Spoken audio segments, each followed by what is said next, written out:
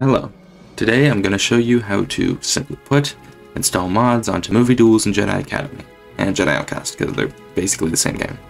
Alright, start off, I have a mod, an asteroid field mod, and really this is literally all the steps you gotta do. You just take the mod, copy, cut, whatever, go to your base folder, which is in Jedi Academy slash Jedi Outcast, game data, and then base, and just put it in.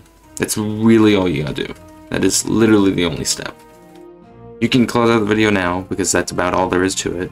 That also applies for model mods, for maps, for anything. NPCs, if they're a .pk3 file, they will work, guaranteed.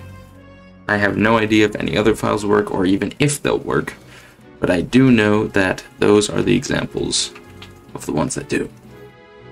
Of course, you can use Pakscape and other such mods to figure out what's in the folders and what's in the files that, you know, like you can find out the name of NPCs or maps. This one's an asteroid field map, so what I'm just going to do is dev map space tab, and I'm just going to sift around until I find an asteroid field map. Should be an A, so... Asteroid field. Asteroid underscore field. And if this works, I should be in an asteroid field. I also, I got this, I've installed this just recently, so I don't actually know what's, like, different about this map as opposed to, uh-oh.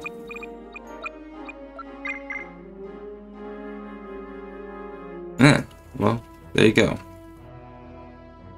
Okay, so it seemed to crash for me, but who cares? That's how you install Movie Duels maps. Please note that map quality may vary as that one has crashed for me.